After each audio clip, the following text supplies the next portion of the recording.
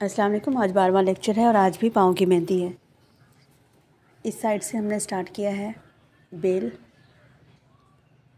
Half carry का जो बताया था, वो सबसे पहले है। सिर्फ़ दो ही कट चल रहे हैं इसमें। उसके बाद फ्लावर, उसके बाद फिर हाफ़ कैरी। फिर फ्लावर, फिर हाफ़ कैरी और हाफ़ कैरी में इसमें इसका रिंग नहीं बनाया। उसके बाद हम फिंगर बनाएँगे, फिर दूसरी तरफ़, पाँव की दूसरी तरफ़ बेल बनेगी। आज के सबक में आपको पाँव के दोनों तरफ़ की बेल बताई है और दोनों पाँव की फिंगर समेत। सबसे पहले जिसकी आप मेहंदी लगा रहे हैं, उसको चेयर पे बिठाना है, ख़ुद ज़मीन पे बैठना है, पटरा रखना है, पटरे के ऊपर इनके दोनों पाँव रखवाने हैं। एक पाँव की बैक साइड की बेल हमने पहले लगाई है और फिर फिंगर लगाएँगे, उसके बाद सीधी साइड की मतलब उस साइड की बेल लगेगी। फिर हमने दूसरा पाँव लेना है और दूसरे पाँव में भी एक तरफ़ की बेल लगा के फिर दूसरे तरफ़ की बेल लगाने से पहले फिंगर लगा लेंगे। अगर हम पहले फिंगर लगाते हो फिर उस तरफ़ की बेल लगाते तो फिंगर पे हमारा हाथ आ सकता था। इसलिए फिंगर जो है, इस तरफ़ की बेल कंप्लीट करने के बाद बना रहे हैं। नेल्स पे आपको फिलिंग नहीं करनी तो आप नेल पॉलिश लगा सकते हैं ताकि नेल्स पे कलर ना आए। लेकिन मुझे नेल्स पे कलर देना था, इसलिए नेल पॉलिश नहीं लगाई। डायरेक्ट नेल पे मेहंदी कर दी है। फिंगर को कहाँ से मैंने स्टार्ट किया है? इसमें सिर्फ़ ये छड़ियाँ आई हैं। एक सर्कल रिंग आया है जिसके बाहर जिगजैग लाइन है और फिर एक पत्ता दिया है। हर उंगली पे यही होगा। इसका पत्ता मैं लास्ट में बनाऊँगी, पहले मैं बराबर वाली उंगली का कर लूँ। आप हाथ के हाथ पत्ते कंप्लीट कर सकते हैं। एक फिंगर कंप्लीट करके आगे बढ़ सकते हैं।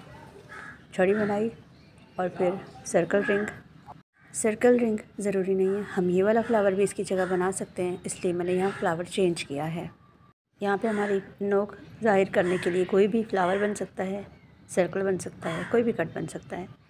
और उसके नीचे हमने एक पत्ता बना दिया है। फिर थ्री डॉट लगा दिए खाली जगह पर।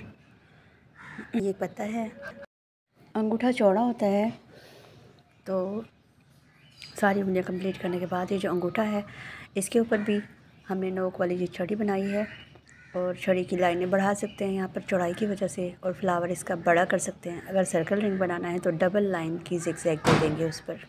मतलब एक जिक्जैग लाइन दे के एक और जिक्जैग लाइन दे सकते हैं, लेकिन मैंने यहाँ पे बना दिया है बड़ा फूल। बड़ा फूल बनाने से जल्दी अंगूठा कवर हो गया है और फिर नीचे वही पत्ता बनाया है। पत्ते में फिलिंग है।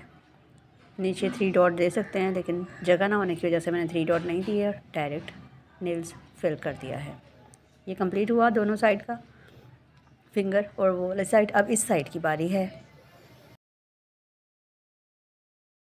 चलिए, बनाते हैं दूसरा वाला साइड जो इस तरफ़ से नज़र आता है।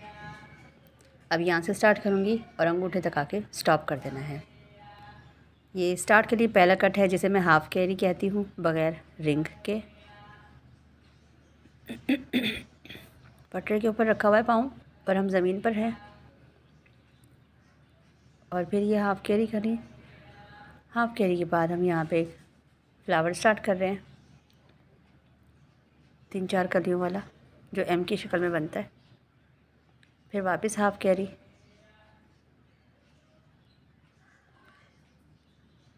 हाफ़ कैरी करके हम जिग जैग लाइन देते हैं उसको।